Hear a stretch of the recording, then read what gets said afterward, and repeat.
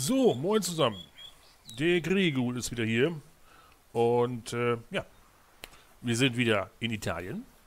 Und es wird langsam mal Zeit, habe ich mir gedacht. Ich habe jetzt die letzten Tage hier ein bisschen ordentlich gespielt. Ähm, ich habe jetzt mal gedacht, ich mache euch jetzt langsam mal ein Video für diejenigen, die noch nicht da sind, die vielleicht erst mal später hier hinkommen wollen.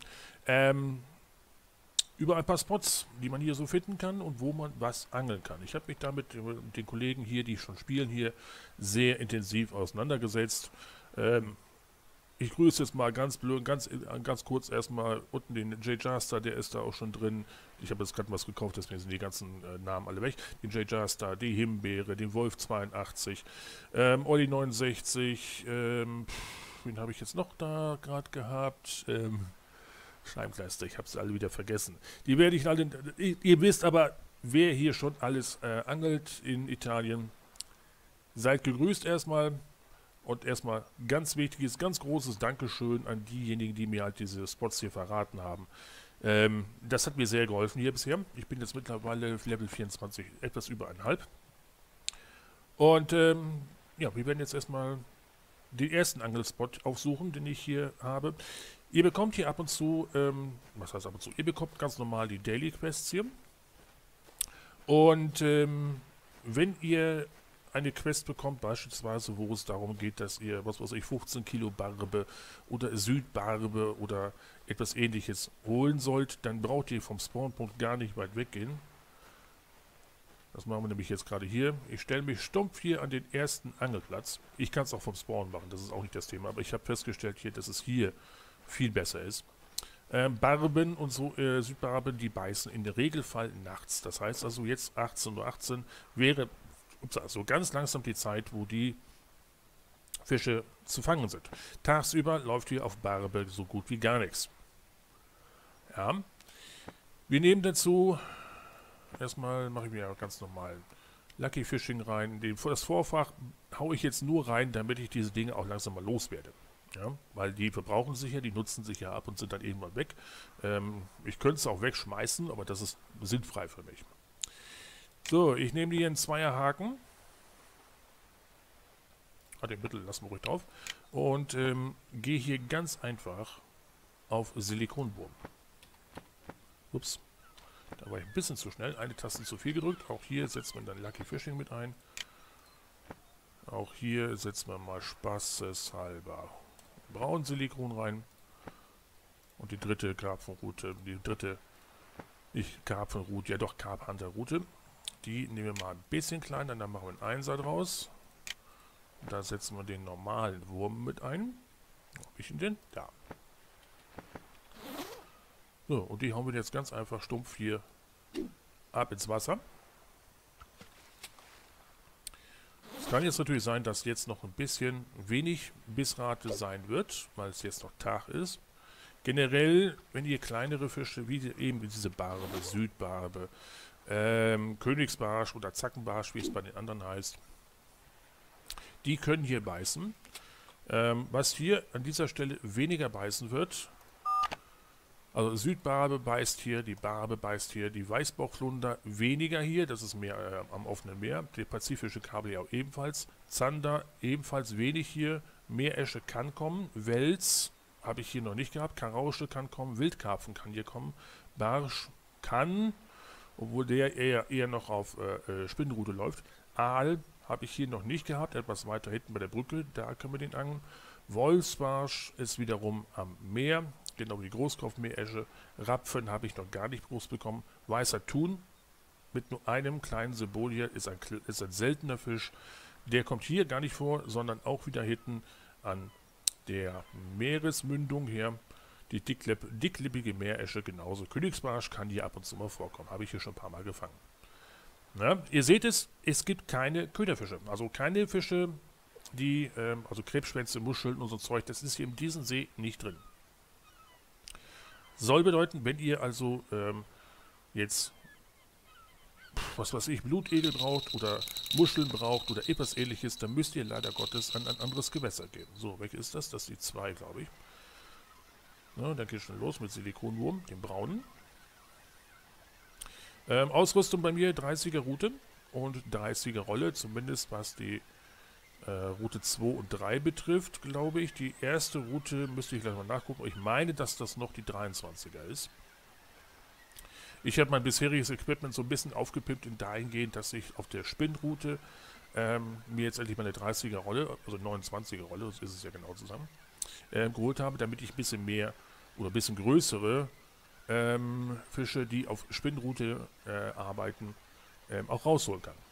Ich hatte gerade vor hm, 10 Minuten, Viertelstunde ein 32 Kilo Wels rausgezogen. Das ging relativ gut.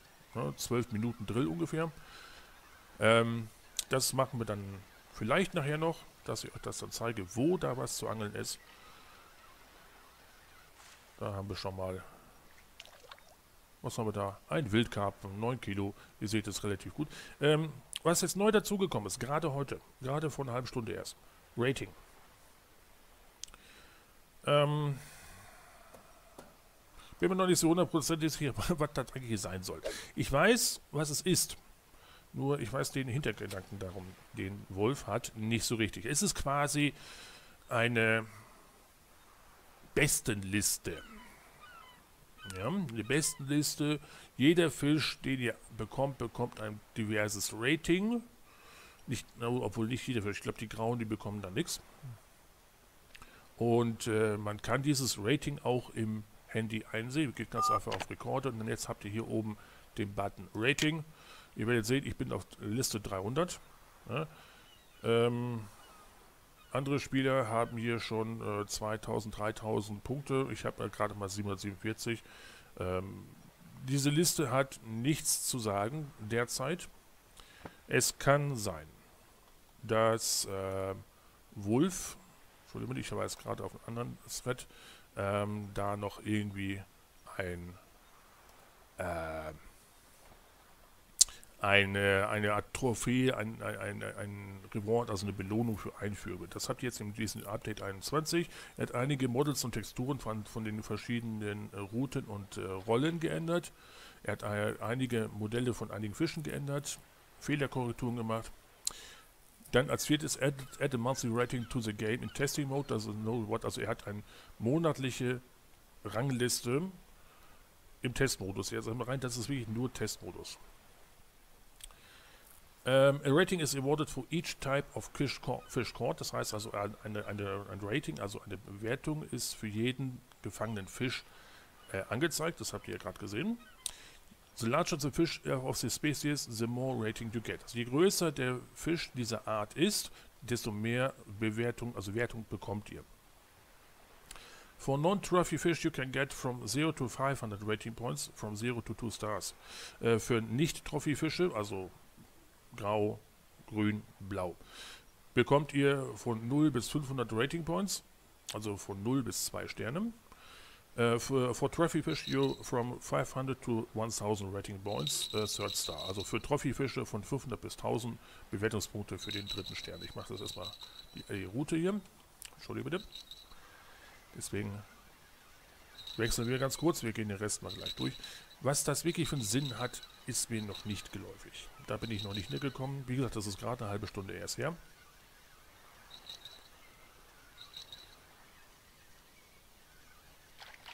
Ich habe es im Chat mal ganz kurz erwähnt, es könnte so eine Art Monatsturnier sein. Ne? So 333 für eine grüne Südbarbe. Ups.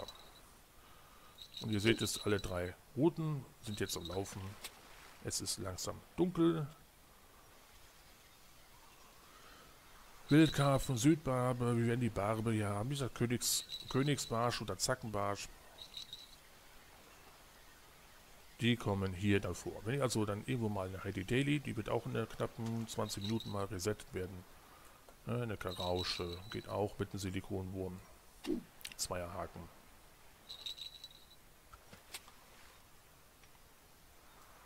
So, dann nehmen wir den auch noch ran.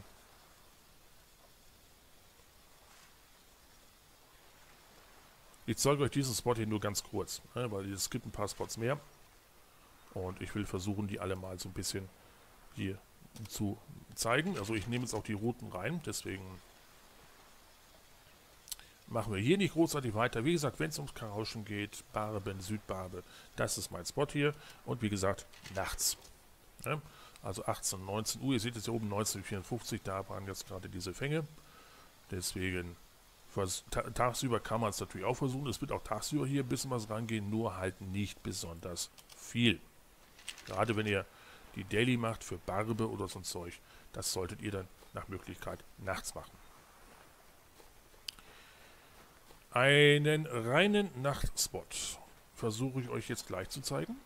Der ist mir gerade eben von Wolf82 und von Olli 69 äh, genannt worden. Oder Olli 64, bin es gerade nicht ganz sicher.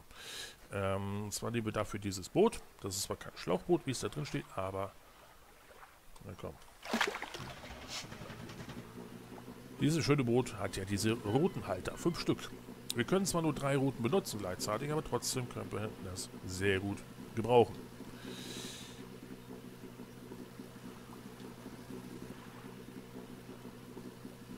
Hier vorne seht ihr die Brücke. Und wenn ihr den linken Pfeiler an, anpeilt, den habe ich jetzt über den Bugestäbe da. Ne? Da fahre ich jetzt direkt drauf zu. Ne? Da hinter uns, da haben wir gerade gestanden. Man könnte auch hier angeln, das ist also auch nicht das Thema. Ich habe auch schon versucht, hier mit Posen, Angel zu arbeiten, wirklich so auf die kleinen Fische, die hoffentlich dann doch da sind. Die sind nicht da. Ja? Also die, die Matchrouten könnt ihr hier im Prinzip komplett vergessen. Also ich habe zumindest, hab zumindest mit der Matchroute noch nichts hier rangekriegt. Grundroute ja, Spinroute ja, aber Matchroute, mm, mm, nada. So. Ich peile jetzt ganz einfach diesen Brückenpfeiler an und haue, wenn ich da direkt angekommen bin, einfach mal K, den Anker raus. So, sodass wir also quasi direkt da zum Stehen kommen. Wir nehmen wieder die, unsere Grundrouten. Jetzt setzen wir aber das Ganze ein bisschen um. Also Mittel lassen wir, aber nicht den Silikonwurm. Da haue ich jetzt dann mal spaßeshalber einmal die Fischinnereien rein.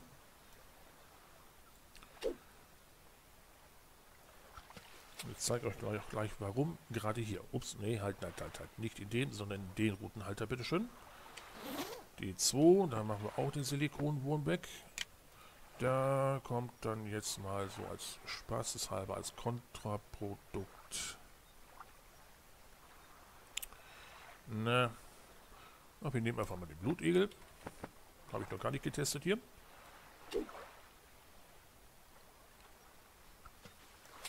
So, und den setzen wir hier rein. Und als drittes nehmen wir nicht die Karpfenroute, wir nehmen die schöne Kitana X-Bing 30 mit einer 29 Kilo Rolle, 24 Kilo Karpfenroute. Kann ich vielleicht auch noch ein bisschen besser machen, weiß ich noch nicht. Ich habe, glaube ich, keine Karpfenroute, keine Carp 3 offen. Nein, habe ich nicht. Äh, 9,7er Vorfach und Jig 25, ja, den 25er. Damit habe ich dann vorhin, dann wie gesagt, mein 32 Kilo Wels gefangen. Kann sein, dass das jetzt erstmal ein bisschen dauert. Ja, zur Not schneide ich das Ganze. Äh, die Geschwindigkeit. Ganz wichtig. So komisch das klingen mag. Ist standardmäßig eingestellt an 35. Bei mir ist jetzt 35 ist der Standard hier. Stellt den bitte um einen hoch auf, na, na, 35 auf 36. So komisch das klingen mag, äh, mit 35 beißen die nicht, mit 36 gelegentlich schon.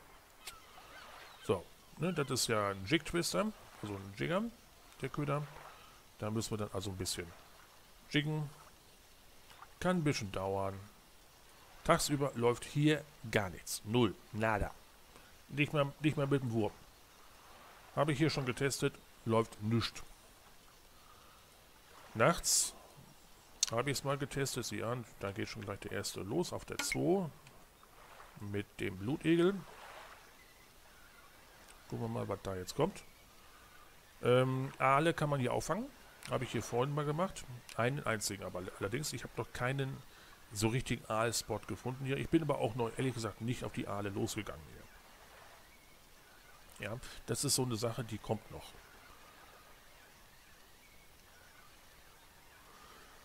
So, gucken wir mal, was kommt hier. Ich bin wirklich mal gespannt, was da jetzt nachher als Daily rauskommt. Wenn das wieder Barbe ist, so wie die letzten zwei Tage, dann geht das.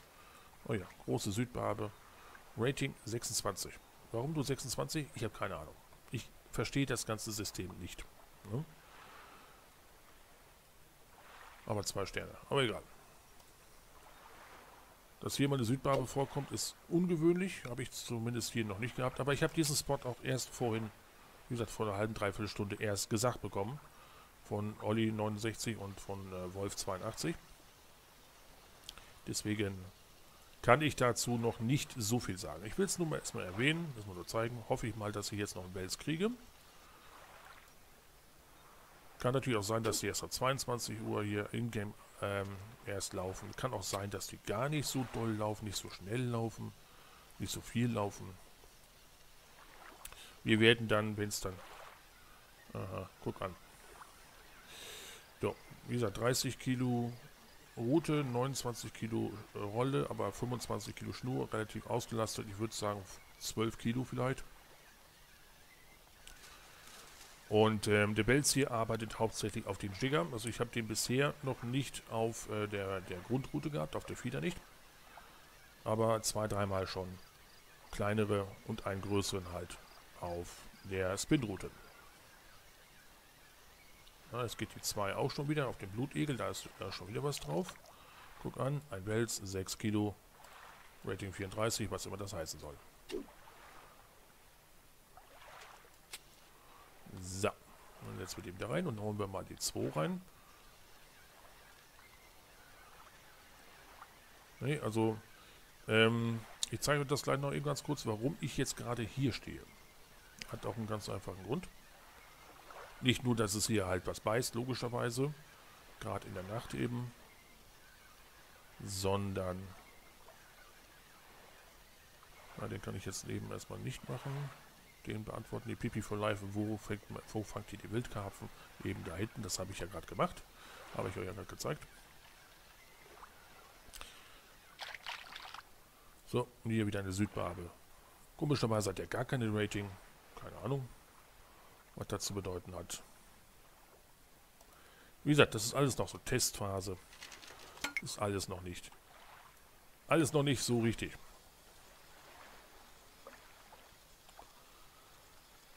So, dann ziehen wir den auch mal rein. Dann gucken wir mal, ob auf der 3 jetzt da was drauf ist, weil, äh, ne, glaube ich nicht, da ist nichts drauf. Deswegen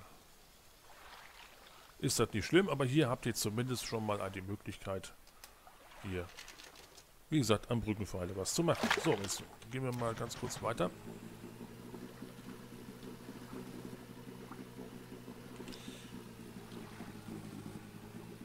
Ganz zu Anfang, als ich hier angefangen habe, auf, diese, äh, diesen, auf dieser Karte zu arbeiten, ah ja, siehst du, stopp, stopp, stopp, stopp, stopp, stopp, stopp, stopp, stopp, stopp, stopp. Warum den Punkt hier? Weil hier direkt, das, wenn ihr hier an diesem Pfeiler steht, dann könnt ihr hier in dieses dunkle Feld reinwerfen. Das ist die tiefste Stelle hier bei den Brücken. Und hier sind dann auch die Wälse. Ne? Aale, logischerweise. Gelegentlich auch, aber eben nur gelegentlich. Ähm, ich habe zeitweise mal versucht, hier auf dieser Insel hier zu angeln. Kommt nicht viel bei rum. Ne? Da habe ich noch nichts Vernünftiges gefunden. Hingegen, wo ich ganz gerne und fast regelmäßig stehe, auch grundsätzlich mit dem Boot hier, das ist weiter draußen. Ja, wir fahren jetzt also jetzt auf der Karte hier zwar ungefähr hier in diese Ecke hier oder diese Ecke da rein, ungefähr da. Die Insel habe ich auch versucht, auch nicht so doll. Hier unten gibt es auch noch einen Steg für ein schön tiefes Gewässer hier vorne hin. Aber ich ziehe es halt mir vor, hier in diesem Bereich zu angeln. Ne, das, man nimmt ein bisschen Zeit in Anspruch, dahin zu kommen. Damit, das ist halt normal, da muss man sich nichts bedenken. Und äh, ist auch nicht so schlimm. Und das sind zwei Minuten Fahrt vielleicht. Ist also verkraftbar. Das Schöne ist, ähm, wenn ihr äh, hier oben seid und der, der Cacher voll ist und dann könnt ihr ganz einfach über die Karte zurückspawnen. Das Boot spawnt mit. Ja, egal ob ihr einen Anker geworfen habt oder nicht. Das Boot kommt mit. Ja, ihr seht da vorne ähm, den Kutter, das ist der hier, der ist außerhalb der Reichweite, da können wir nicht hin. Hier ungefähr, grob gesagt, da, na, da, ungefähr werden jetzt gleich Bojen auftauchen. Das markiert die Grenze.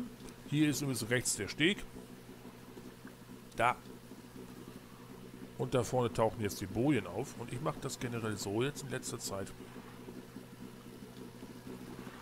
dass ich mich hier so rechts ranfahre und dann hier vor diesem Boot quasi mich hier seitlich hin platziere, Anker rein. So, und in diese Richtung schmeißen wir jetzt aus. Wir nehmen natürlich jetzt hier keine inneren Sachen hier. Wir nehmen hier die schönen neuen Köder, die es hier auch gibt. Da haben wir einmal hier diese Nereis. Keine Ahnung, was das sind irgendwelche Wattwürmer.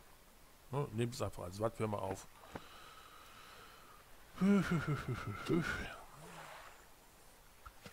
So, dann hauen wir das da rein mit der Y-Taste. Dann immer, ihr müsst immer erst den, den Routenhalter anvisieren, grob mittig, und dann könnt ihr halt den auf die Route draufsetzen. Äh, Blutegel nehmen wir hier auch raus, das Vorfach bleibt. Wir nehmen den zweiten, nämlich den Ringelwurm hier mal rein. Und hier kommt man dann, das ist wie gesagt dieses Meerangeln, wo dann halt auch schon mal Meeresfische auftauchen. Auch hier nehme ich hier ähm, die äh, Spin-Route als dritte Route. Ich nehme aber nicht den 25er, sondern den äh, 18er, weil der etwas besser ist, wenn man ähm, zum Beispiel jetzt die Möglichkeit haben möchte, Thunfische zu angeln. Thunfisch ist selten, sehr, sehr selten. Äh, ich setze den meistens übrigens auf 40 dann hier ein. Und guck mal, da ist dann auch mediengerecht. Na komm. Mediengerecht kommt dann auch auf der 2 schon mal was an. Auf den Tatzelwurm. Ne, Regelwurm, so heißt das Ganze hier. Mal gucken, was jetzt hier rankommt. Das ist kein Thunfisch, das, äh, die beißen nicht auf diese ähm, Federruten. Was hier hinten durchaus mal kommen kann, ihr seht es unten, Chat, Weißbauchflunder, Wolfsbarsch, pazifischer Kabeljau. Das sind so die Sachen, die man hier fängt. Und die geben ordentlich EP. Gerade so ein Wolfsbarsch, 6 bis 7 Kilo, da habt ihr fast 1000 EP. Gut, in unserem Level braucht man das auch, da können wir nicht mit 2, 3 EP arbeiten. Wieder eine Südbarbe, 1000 neuer, 1439 EP, Rating plus 31. Ich weiß nicht, ob das der Platz ist, eventuell, dass ich vielleicht einen besseren Platz jetzt bekommen habe. Wie gesagt, großartig interessieren wird mich das sowieso nicht. Ja? Weil das ist nicht meine Welt. Diese Monatsturniere, so ich das mal ausdrücken möchte. So, auch hier jiggen wir mal mit dem, mit dem 18 Gramm. Ist eher selten, dass man hier einen Thunfisch kriegt. Wie gesagt, der Thunfisch ist ein seltener Fisch. Der höchste Thunfisch, den ich bisher geangelt habe, war knapp über 9 Kilo. Äh, man sieht ihn auch relativ selten im Chat, dass da einer mal aufgetaucht ist. Untermaßige habe ich schon einige gefangen, aber die maßigen, also die grünen, blauen oder sowas, sieht man selten hier. So, da habt ihr zumindest erstmal schon den ersten Eindruck bekommen, wo man was angelt. Ich werde dann bei Gelegenheit nochmal ein bisschen dedizierter drauf eingehen. Das sind so die, die Spots, die ich bisher ja, gefunden, gesagt bekommen habe. Oh, da haben wir schon mal Wolfsbarsch. Oh, das ist ein neues Modell, ja. Das ist neu, das kenne ich so noch nicht. Aber der bringt mal eben 631 EP. Rating 157. Keine Ahnung, was das ist. Ne, das ist also hier ein Wolfsbarsch halt.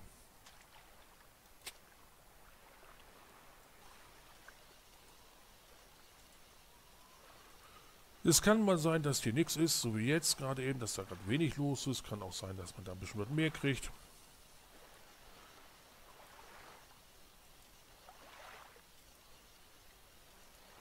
So. Und das bedeutet für mich jetzt 24.19. Wir haben jetzt langsam die Folge wieder vorbei. Ich werde dann jetzt die nächsten Tage dann sowieso hauptsächlich hier angeln. Und äh, dann werden wir nachher mal gucken, wie immer das jetzt. Ah, in sechs Minuten, dann kommt die nächste Daily, dann mache ich die nächste Folge und dann zeige ich euch mal, wie man die Daily macht. Wenn wir Pech haben, ist es 252 Kilogramm Wels. Ja, dann halt nicht, dann müssen wir mal sehen. Und äh, wenn es halt dann diese Barbengeschichte ist, dann machen wir das dann. Ne? Einstweilen wünsche ich euch was. schönen Tag noch. Und äh, ja, wir sehen uns. Haut rein. Und tschüss.